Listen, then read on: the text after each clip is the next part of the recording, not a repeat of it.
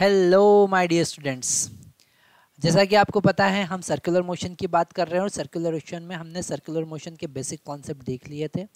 हमको पता है what is meaning of angular displacement what is meaning of angular velocity अगर आपको ये पता नहीं है तो आपको लास्ट दो वीडियो देखना चाहिए। अभी हम बात कर रहे हैं थर्ड कॉन्सेप्ट की, जिसमें हम बात करेंगे एंगुलर एक्सेलरेशन की। तो आज इस लेक्चर में हम बात करने वाले हैं एंगुलर एक्सेलरेशन की। किसकी बात करेंगे हम? Angular acceleration angular acceleration okay अब ये एंगुलर एक्सेलरेशन क्या है? हम इस एंगुलर एक्सेलरेशन को अल्फ़ा से डिनोट करते हैं और ये एक वेक्टर क्वांटिटी होता है। Okay and it is equal to D omega vector divided by DT क्या होता है? D omega vector divided by D मतलब कि द एंगुलर एक्सेलरेशन जैसा कि हमारे पास में लीनियर एक्सेलरेशन होता है। लीनियर एक्सेलरेशन क्या होता है? It is the rate of change of velocity same as it is it is the rate of change of angular velocity okay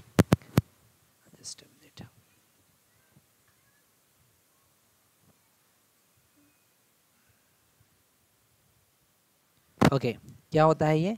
Rate of change of angular velocity rate of change of change of angular velocity.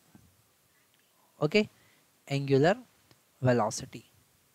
अब अगर हम, जैसा कि हमने यहाँ पे formula देख लिया है ओके अगर हम इस अल्फ़ा का यूनिट देखें, अगर हम अल्फ़ा का यूनिट देखें तो यूनिट क्या होना चाहिए? रेडियन पर सेकंड स्क्वायर क्या होना चाहिए? रेडियन पर सेकेंड स्क्वायर और अगर इसकी डायरेक्शन की बात करें तो थोड़ा सा डायरेक्शन को ध्यान से समझना पड़ेगा। ठीक है?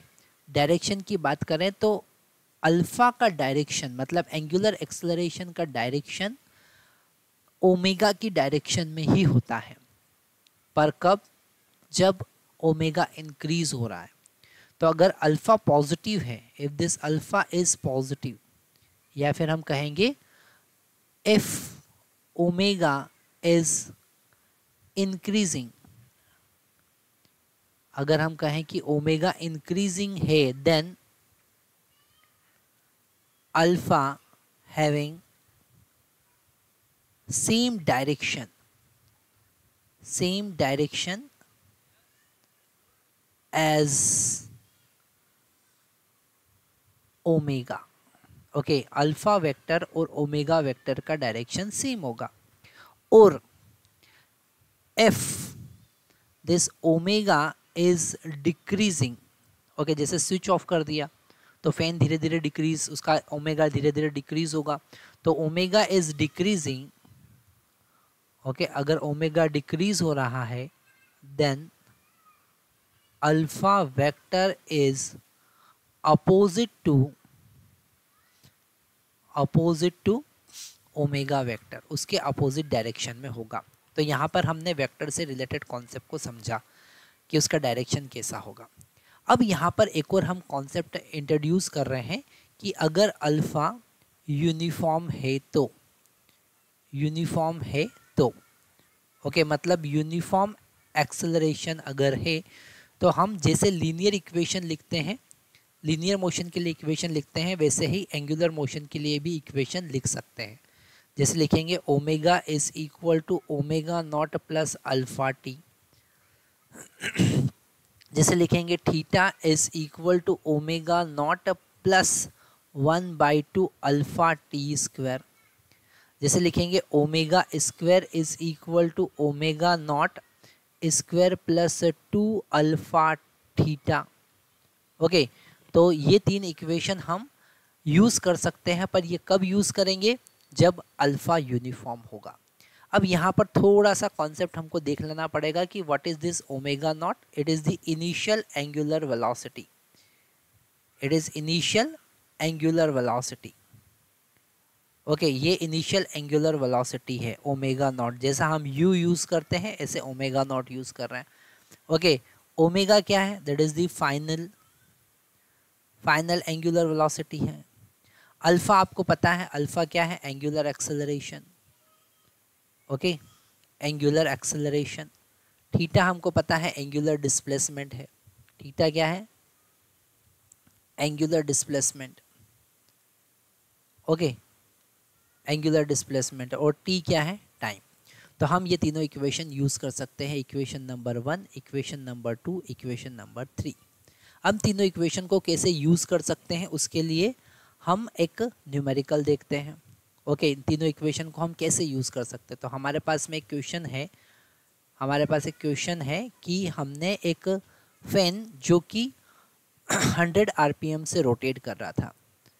A fan rotating with 100 RPM rotating with 100 RPM. 100 RPM से रोटेट कर रहा है, इसको स्विच ऑफ़ कर दिया। क्या कर दिया इसको? स्विच ऑफ़ कर दिया। Switch off. ओके, उसको हमने बंद कर दिया। हमको फाइंड करना है, अगर वो 10 सेकंड में रुक जाता है, if it stop in 10 second तो हमको क्या फाइंड करना पहला हमको फाइंड करना है, find its angular acceleration find its alpha angular acceleration हमको फाइंड करना है। दूसरा हमको फाइंड करना है कि रुकने से पहले वो कितना एंगल चलेगा। ओके तो हमको फाइंड करना है find angle describe angle describe before stopping before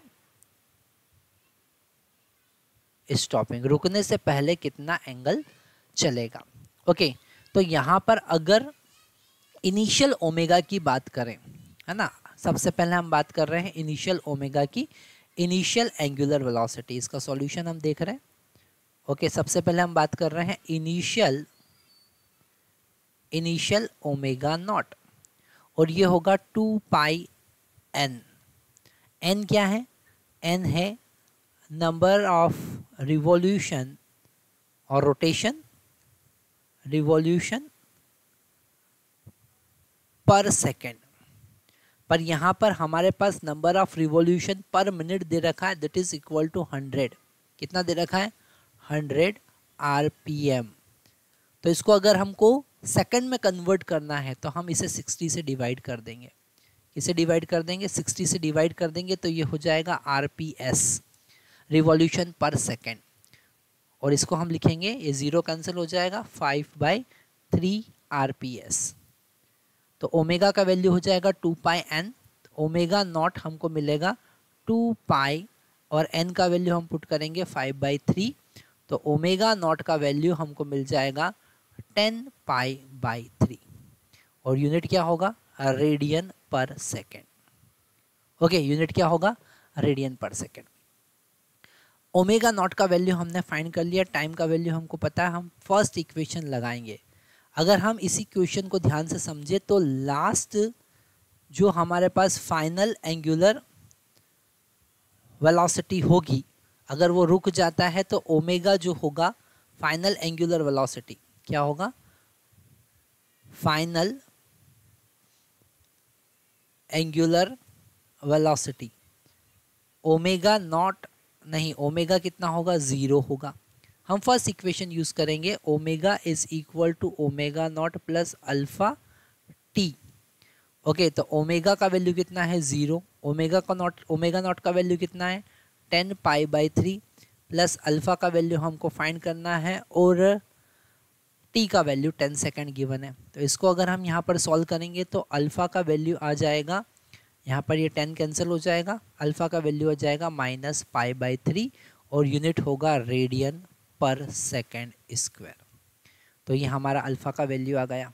तो फ़र्स्ट हमारा क्वेश्चन सॉल्व हो गया what is value of alpha okay अब हमको फाइंड करना है total number of rotation okay तो अगर अल्फ़ा का वैल्यू आ गया है और हम लास्ट इक्वेशन यूज़ करें, हम थर्ड इक्वेशन अगर यूज़ करते हैं तो थर्ड इक्वेशन क्या है? Omega square is equal to omega naught square plus two alpha theta okay तो ओमेगा नॉट ओमेगा तो ज़ीरो है ओमेगा नॉट का वैल्यू हम निकाल चुके हैं, कितना है? टेन पाई बाई थ्री और इसका स्क्वायर कर देंगे।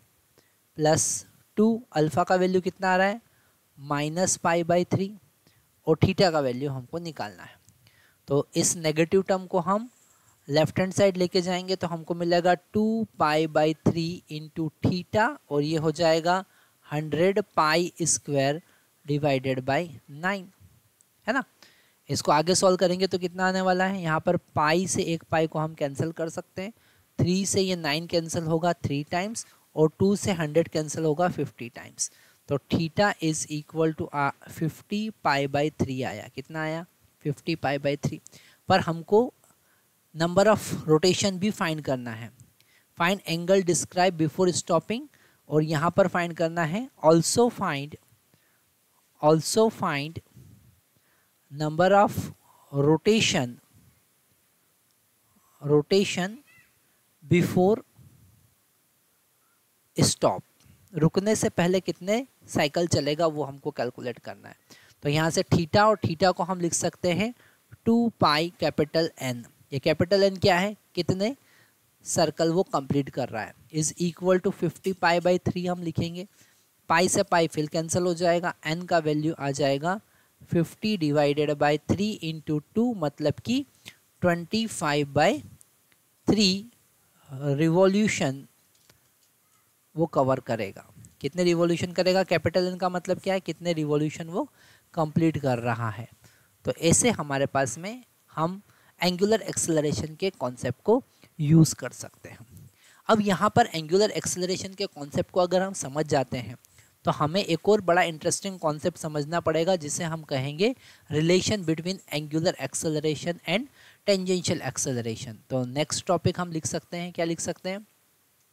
Relation between relation between alpha vector and A T vector okay तो यहाँ पर हमको ये ए टी के कॉन्सेप्ट को समझना पड़ेगा। What is this A T this is the tangential acceleration ये क्या है?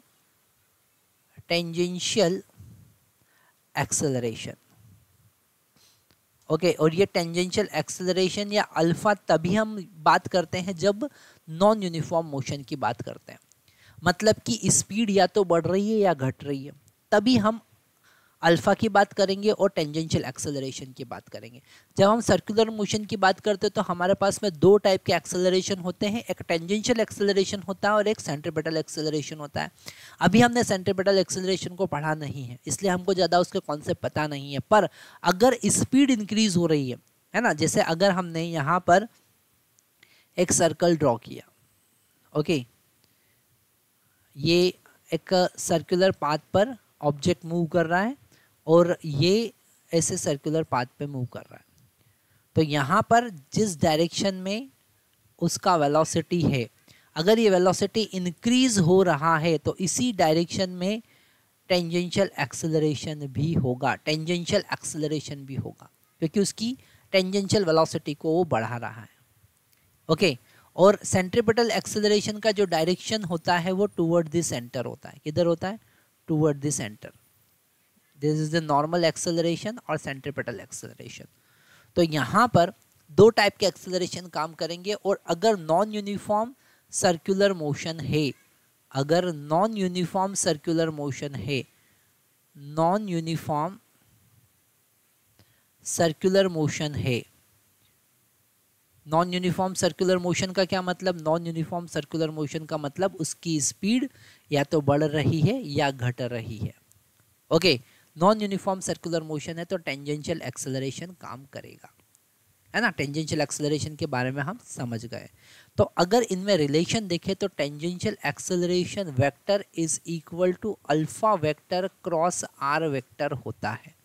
This is the relation okay और यहाँ पर आर वेक्टर का मतलब क्या रेडियस वेक्टर आर वेक्टर का क्या मतलब होता है? रेडियस वेक्टर जैसा कि हमारे पास में linear velocity this v is equal to omega cross R होता है। ओमेगा क्रॉस आर होता है। उसी से ये रिलेशन आया है इसको डिफ्रेंशिएट करने के बाद। Okay okay?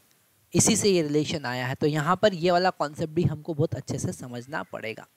हम अभी ये भी कॉन्सेप्ट आगे जाके देखने वाले हैं कि अगर नॉन यूनिफॉर्म एक्सेलरेशन है नॉन यूनिफॉर्म सर्कुलर मोशन है तो नॉन यूनिफॉर्म सर्कुलर मोशन की अगर हम बात करेंगे तो नेट एक्सेलरेशन कैसे फाइंड करेंगे? क्योंकि वहाँ पर दो टाइप के एक्सेलरेशन काम करेंगे टेंजेंशियल एक्सेलरेशन और सेंट्रीपेटल एक्सेलरेशन अभी नेक्स्ट वीडियो में हम यूनिफॉर्म सर्कुलर मोशन की बात करेंगे, जिसमें केवल सेंट्रीपेटल एक्सेलरेशन लगता है due to the change in direction of velocity the magnitude of direction remain constant, but due to the change in direction of velocity, there is an acceleration presence, this acceleration is called centripetal acceleration तो next video आपको miss नहीं करना है, क्योंकि उसका पूरा derivation हम देखने वाले हैं कि सेंट्रीपेटल एक्सेलरेशन कैसे लगता है और उसका value V square by R कैसे आता है। अभी तक हमने क्या क्या देख लिया है? अभी तक हमने देख लिया है डिफरेंट पैरामीटर जिसमें हमने एंगुलर डिस्प्लेसमेंट की बात की, जिसमें हमने एंगुलर वेलोसिटी की बात की, जिसमें हमने एंगुलर एक्सेलरेशन की बात की। एंगुलर एक्सेलरेशन अगर यूनिफॉर्म है तो हम तीन इक्वेशन का यूज़ कर सकते हैं और इससे रिलेटेड क्वेश्चन एग्ज़ाम में भी आते हैं। तो आज के लिए इतना ही। नेक्स्ट लेक्चर में हम सेंट्रीपेटल एक्सलरेशन की बात करेंगे। Thank you very much